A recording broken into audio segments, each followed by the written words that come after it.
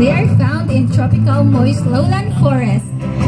Flaps are small and they're often active at night. This kind of bird is endemic here in the Philippines.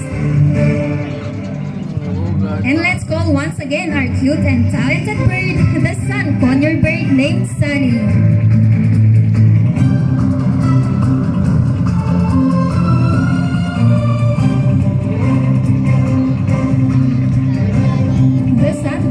Are lively, vocal, and expressive. This is a bird best known for its beauty and its big mouth. Once again, our sun conure bird named Sunny. And now, ladies and gentlemen, it's time for the ducks.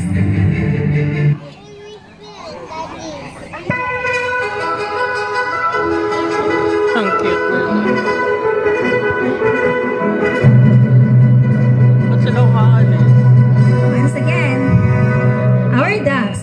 There they are, our adorable ducks.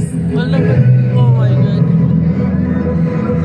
By the way, ducks are any of the various species of relatively small, short-necked, large-billed waterfowl.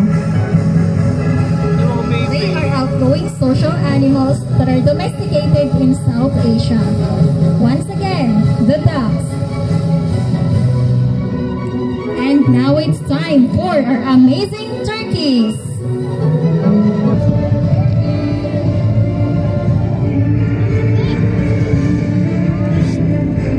There they are, the turkeys. They are large bird native to North America. sila sa taas. Turkeys are intelligent and sensitive animals that are highly social.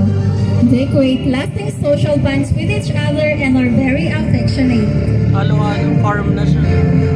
And of course, we should not skip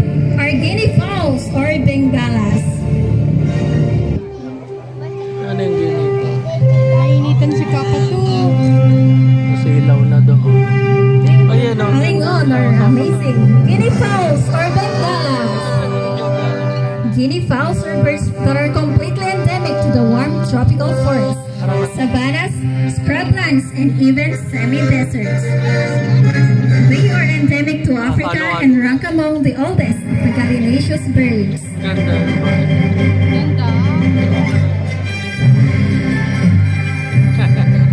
Parang pogo naman. Alright, and lastly, the fastest running bird in the world, the ostrich. Ako malaki yan. Yan yung maraming nakapan.